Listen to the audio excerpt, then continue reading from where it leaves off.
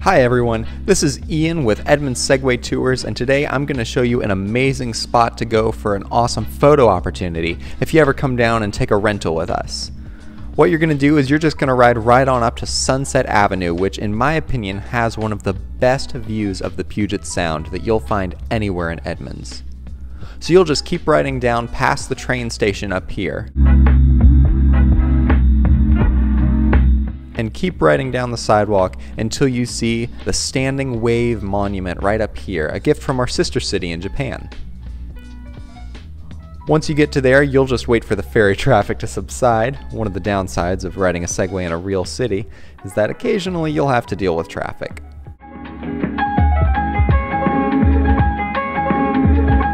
And then once that clears up, you'll just cross the street, head on up here. And once you turn left at this light up ahead, that brings you onto Sunset Avenue. So you'll just ride further up ahead up here, and you'll notice on the left that you will start to get some of the best views of the Puget Sound that you'll find anywhere.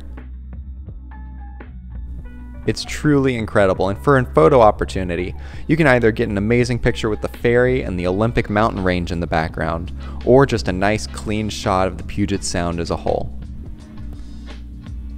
So come on down to Edmonds Segway Tours and take a rental with us. There's this and so much more to explore in Edmonds, and I guarantee that you'll love it.